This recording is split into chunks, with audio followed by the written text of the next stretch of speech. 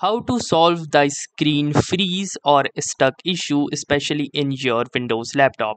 So hey guys in this tutorial i'm to show you what you should do if your screen automatically freezes or it refuses to respond in your laptop or desktop PC.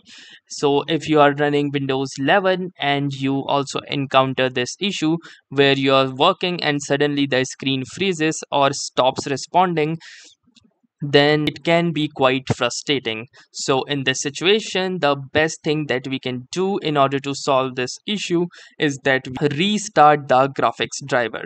So the graphics driver is responsible for uh, displaying the output that we see into our screen. So if we refresh the graphics driver, then it is one of the best ideas which will might help us in this situation. So let me show you how to refresh the graphics driver in Windows 11.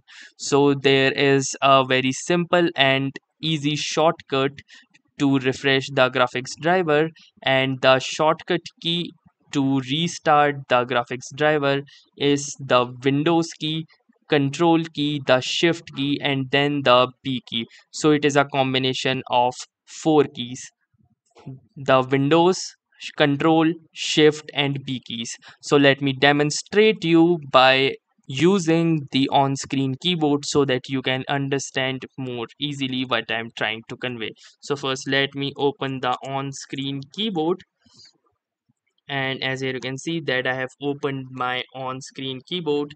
Now in your keyboard you need to press the following key combinations in order to restart the graphics driver. So first you need to press the Windows key and then the control key and then the shift key and then the B key. The B means for ball. So this is the B key right here. And once you will press this, you might hear a beeping sound and your display might flash. And that means that the graphics driver has been successfully restarted and hopefully your problem or the issue that you were facing will have been resolved. So that's it for this video. If this video was helpful to you consider giving this video a like. Do tell us in the comments if this worked for you or not or if you have any better suggestions or questions to ask.